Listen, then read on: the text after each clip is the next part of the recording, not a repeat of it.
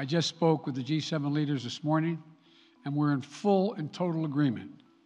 We will limit Russia's ability to do business in dollars, euros, pounds, and yen.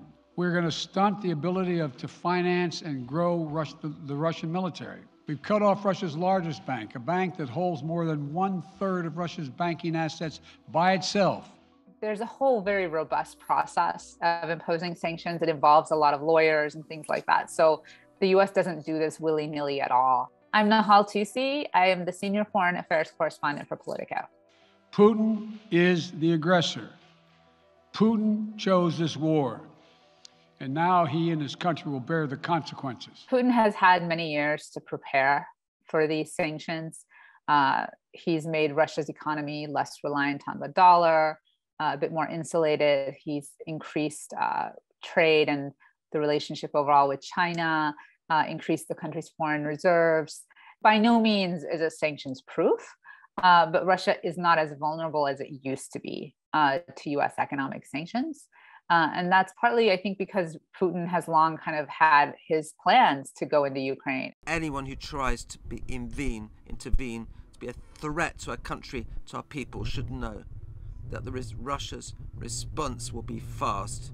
Putin himself is not going to really suffer uh, if we sanction him, even if we sanction him directly. But what could happen, and this is kind of a long term bet, is that the Russian people could feel really frustrated. They're the ones who could suffer. They could, you know, rise up and protest against him. It could undermine his ability to continue ruling Russia without dissent. It's a long shot, but it's frankly one of the few tools that the West has, um, especially if it's not going to go and send its soldiers to Ukraine to fight Russia directly. We're here for one reason and one reason only to ask Russia to stop because it's too late, my dear colleagues, to speak about de escalation. Too late. The Russian president declared a war. One thing that's going to be really important is this question of patience, right? How long can the West impose these sanctions in a unified manner on Putin? These are among the darkest hour for Europe since the end of World War II.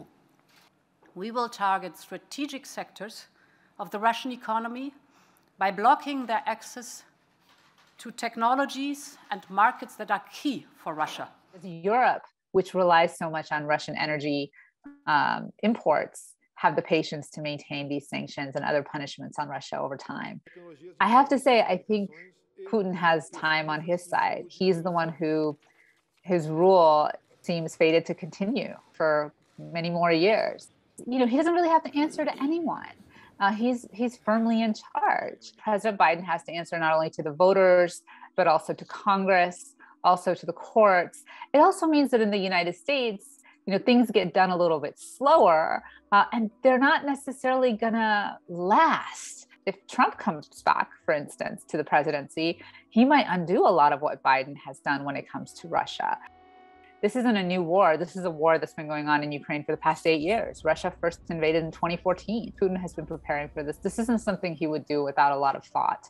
Um, now, whether that thought is well informed, whether his you know strategy is going to work out, whether you know his uh, beliefs about what the West will do will hold true, that remains to be seen.